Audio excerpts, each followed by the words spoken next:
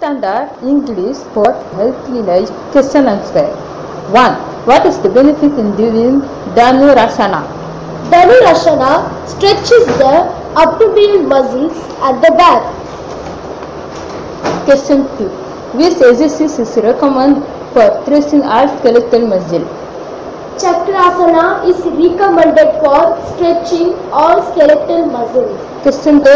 Bhujangasana and three spin. Bhujanganasana gives an erect posture to our body. Question 4. Which asana help us to improve the functioning of thy- thyroid?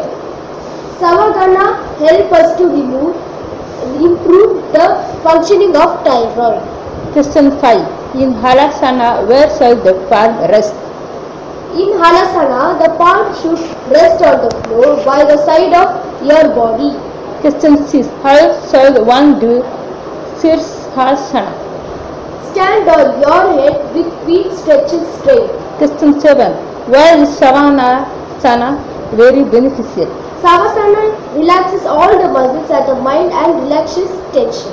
Question 8. From the past husband word meaning the opposite of the following. Forward, Backward, disappear, appear, above.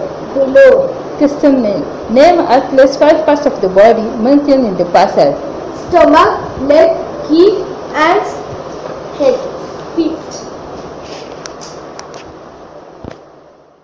நன்றி இந்த video பிடிச்சிருந்தா மறக்காம like பண்ணுங்க share பண்ணுங்க subscribe பண்ணுங்க கல்வி முதற்கண்ணில் bell icon press பண்ணுங்க